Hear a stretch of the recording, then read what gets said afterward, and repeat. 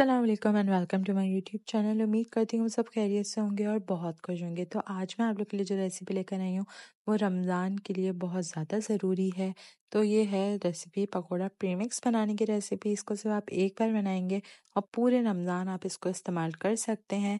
और ये बेहद मज़ेदार से जो है वो पकोड़े बनकर तैयार होते हैं। बिल्कुल बाहर जैसे क्रिस्पी और अंदर से सॉफ्ट ये बनकर तैयार होंगे, इसको हम इस तरह से बनाएँगे और सिर्फ़ एक ही बार आपको बनाना है, एक ही बार की मेहनत है, उसके बाद आप पूरे रमज़ान जब दिल चाहे पकोड़े झटपट से तैयार कर सकते हैं। तो सबसे पहले जो है यहाँ पे मैंने लिया है 250 ग्राम बेसन, यानी ये एक पाव बेसन था, उसके बाद इसमें मैं ऐड करूँगी नमक।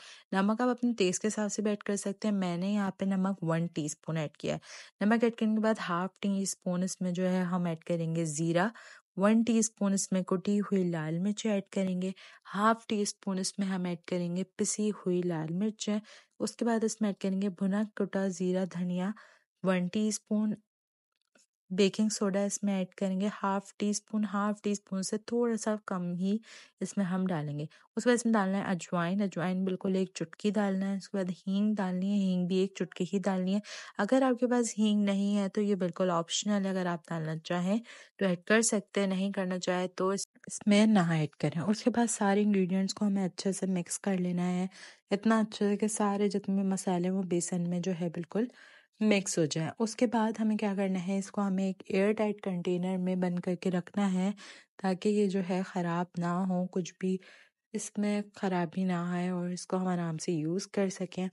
तो हम इसके लिए एक एयर टाइट जार ले लेंगे बर्नी ले लेंगे। कुछ भी आप ले सकते हैं जिप लॉक बैग भी आप ले सकते हैं उसमें हमें इसको स्टोर करके रख देना है ताकि पूरा रमज़ान जो है वो हमारे लिए आसानी रहे इसको। जब भी बनाना हो निकाला, इसमें वेजिटेबल्स ऐड की, प्याज, धनिया, पुदीना सब चीज़ ऐड की और इसको झटपट से हमने तैयार कर लिया।